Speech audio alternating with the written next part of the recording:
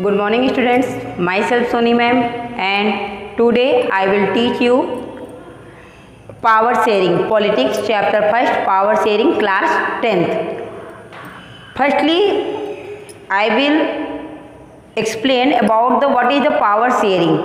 Means सत्ता का वितरण सत्ता का किस तरह से हस्त उसको वितरित किया जाए शक्तियों को किस तरह से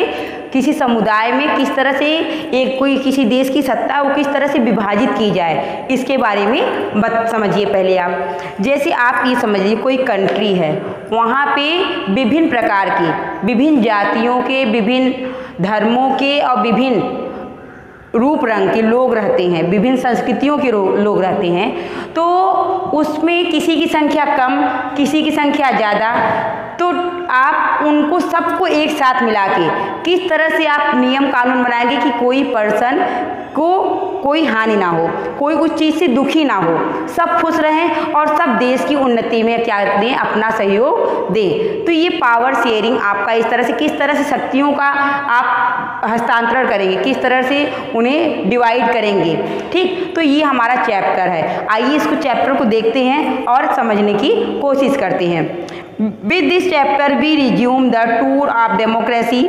and that the started last year we noted last year that in the democracy all powers does not rest in any one organs of the government aapko 9th mein democracy bataya gaya hai and you know about the what is the democracy and the definition of the democracy but you know also ki uh, all powers is not submitted only one person ये मतलब सारी शक, सत्ता एक person के हाथ में नहीं सबमिट कर दी जाती है बल्कि power is divided into three categories which and the legislative executive and executive and the judiciary is the very important to the design of a democracy मस्त तीन मतलब कार्यपालिका व्यवस्थापिका और न्यायपालिका ये तीन चीज़ें क्या हैं डेमोक्रेसी में जो इन शक्तियों को क्या करती हैं किसी व्यवस्था को कायम करने में डेमोक्रेसी को लागू करवाने में तत्पर रहती हैं in this and the next two chapters we carry this idea of the power sharing forward इसी क्रम में किस तरह से शक्तियों का वितरण किया जाए ये आपका चैप्टर है we start with the two story from Belgium and Sri Lanka ये आपका चैप्टर किस तरह से स्टार्ट हुआ है एक स्टोरी आपका बेल्जियम के बारे में बताया गया है और दूसरा श्रीलंका के बारे में both these stories are about how democracies handle demands for the power sharing यहाँ बताया गया किस कैसी बेल्जियम ने अपने देश का कैसी निर्माण किया और श्रीलंका ने किस तरह से किया दिया and this stories yield some general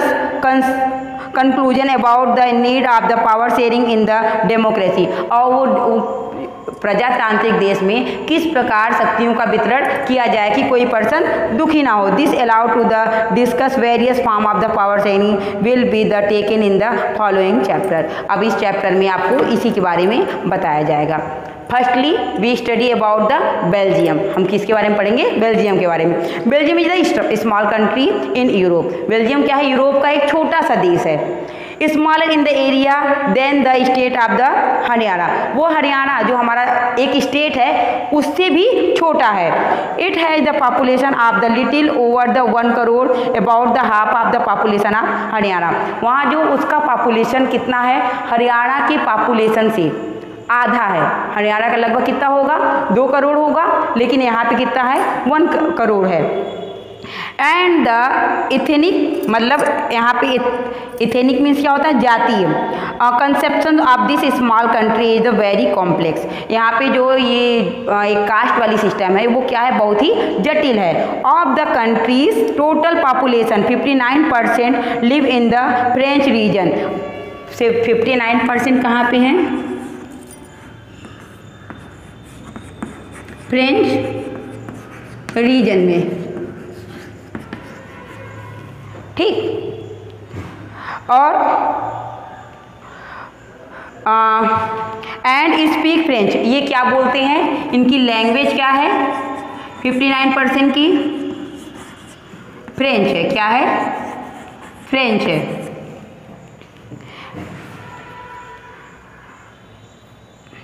and speak Dutch language और बाकी जो बचते हैं वो क्या है French and Dutch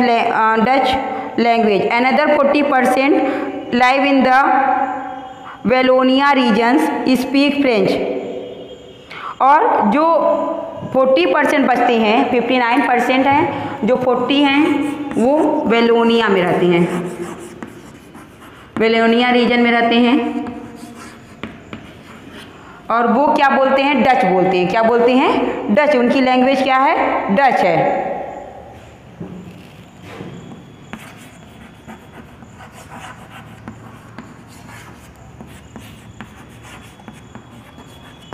Dutch language बोलते हैं ठीक तो ये आपको वहाँ पे ये बेल्जियम जो आपका देश है वो वहाँ पे 55 परसेंट फ्रेंच क्षेत्र में रहते हैं जो उनकी लैंग्वेज फ्रेंच है और ये वलोनिया शहर में रहते हैं क्षेत्र में रहते हैं जिनकी लैंग्वेज क्या है डच है और जो वन परसेंट बचा वो क्या बोलता है वो वन परसेंट जर्मन है जो क्या बोलते हैं उनकी लैंग्वेज जर्मन है ठीक तो remaining one percent of the Belgium speak German in the capital city Brussels यहाँ का जो बेल्जियम का कैपिटल uh, है वो क्या है ब्रसेल्स है eighty percent is people speak French while twenty percent Dutch speaking और पूरा अगर पूरा कैपिटल को मिला लिया जाए तो 80 परसेंट जो पर्सन है वो क्या बोलते हैं फ्रेंच बोलते हैं और बाकी 20 परसेंट आपके क्या बोलते हैं डच बोलते हैं ठीक तो इस प्रकार से ये क्या है लैंग्वेज की वाइज इसको डिवाइड कर दिया गया है then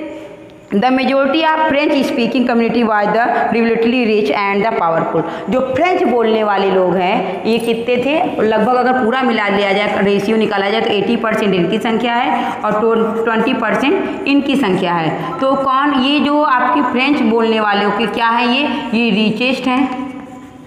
और इनकी मेजोरिटी क्या है ज़्यादा है और डच बोलने वालों की क्या है मेजोरिटी कम है This was the resented by the Dutch-speaking community who got the benefit of the economic development and the education much later. इनको जो डच बोलने वाले थे इनको क्या हुआ इनको एजुकेशन में इकोनॉमिक अर्थ अर्थव्यवस्था में इनको बहुत बाद में जाके क्या मिला लाभ हुआ this led to the tension between the Dutch speaking and the French speaking communities during the 1950 and 1960 the tension between the two communities was more acute in the Brussels. Brussels uh, presented a special problem. The Dutch-speaking people contrasted the majority in the country but a majority in the capital. Means ये जो Dutch बोलने वाले the person जब इनको किसी क्षेत्र में इनको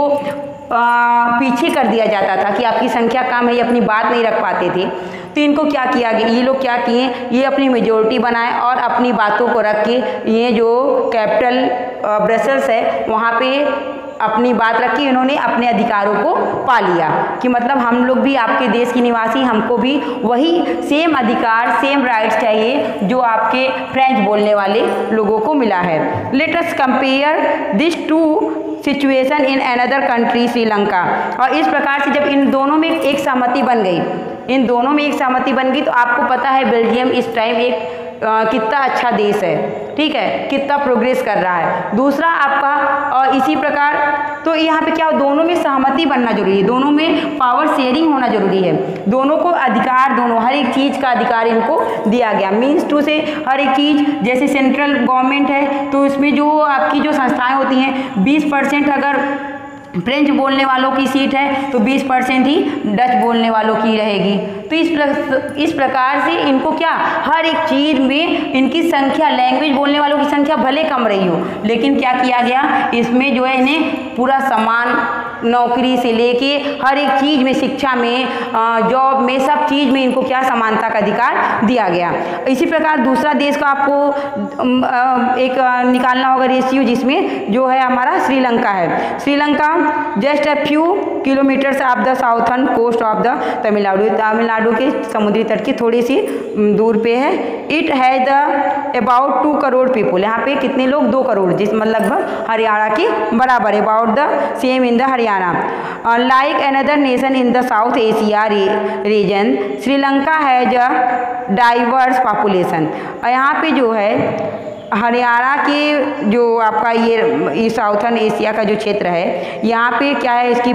जन, जो जनसंख्या है वो हरियाणा के लगभग बराबर है द, तो दूसरा आपको किससे कंपेरिजन करना है श्रीलंका से करना है श्रीलंका में जो आपको उसमें भी लैंग्वेज के थ्रू डिवाइड किया गया है जैसे यहाँ पे सिंघाला सिंघाला लैंग्वेज बोलने वाले कितने हैं ट्वेंटी परसेंट हैं और तमिल बोलने वाले कितने हैं एटी परसेंट हैं among Tamil they three there are two sub groups यहाँ तमिल में भी कई ग्रुप बने हैं जैसे Tamil natives of the country are called the Sri Lankan Tamils जो वहाँ के निवासी हैं तमिल में जो वहाँ खुद पहले से रह रहे हैं उनके पूर्वज वहीं के हैं फोर फादर्स वहीं के हैं वो उनका उनका जो है उनका नेटिव तमिल तमिलियन कहा जाता है उनको वो कितने हैं तेरह परसेंट हैं the rest whose forefathers came from India और जो उनके पूर्वज जिनके कुछ तमिल ऐसे बोलते हैं जिनके जो है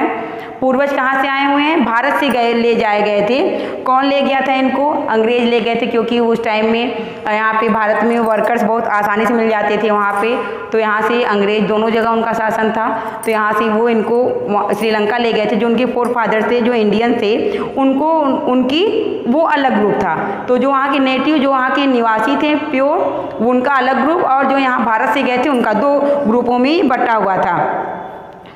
ठीक है और वो इंडियन तमिल कहे जाते थे and as you can see from the map Sri Lanka Tamil are the connected in the north and the east of the country आप देखोगे तमिल जो किससे नॉर्थ और ईस्ट दोनों से जुड़ा हुआ है most of the Sinhala speaking people are Buddhist while most of the Tamil are Hindus उसमें से जो तम, कुछ जो लैंग्वेज बोलने वाले थे उसमें कुछ बुद्धिस्ट थे और कुछ क्या थे हिंदू थे और मुस्लिम थे there are about seven percent of the Christian और सिर्फ सेवन परसेंट कौन था ईसाई थे who are both Tamil and Sinhala और जो दोनों लैंग्वेज को तमिल और सिंहाला दोनों बोलते थे just imagine what could happen in the introduction like this in the Belgium the Dutch community could take advantage of the numeric majority and the force it will on the French and the German speaking population उन्होंने क्या किया कि जब यहाँ पे इनको बाध्य किया कि जो है हमारा जो शासन प्रशासन है यहाँ पे क्या किया जाए इनकी इनको जो जिनकी संख्या ज़्यादा है उन उनको उनकी ही बातों को माना जाएगा उन्हीं को जॉब में और सब चीज़ों में क्या दी जाएगी फैसिलिटी दी जाएगी